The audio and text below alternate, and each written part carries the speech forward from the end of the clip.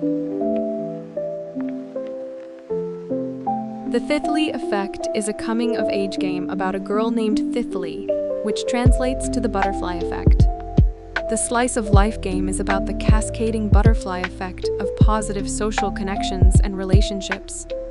Titli lives an average life in an average place with an average job, where she exterminates bugs five days a week.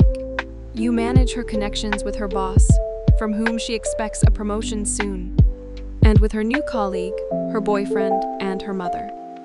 You make these small but big decisions for Titli. Every day, you also reflect in your journal and learn strategies to enhance relationships with the people around you and yourself. The game is about the small yet significant things that alter life drastically and make it worth living. A text message from a loved one, a warm hug, a job well done, and everyday choices offered to us by life to connect to people around you. It highlights the love and interdependence nurtured softly and patiently. Through interconnected interactions, the game explores the complexity and chaos associated with human relationships. Will Titli reach out and explore the beauty of social connections?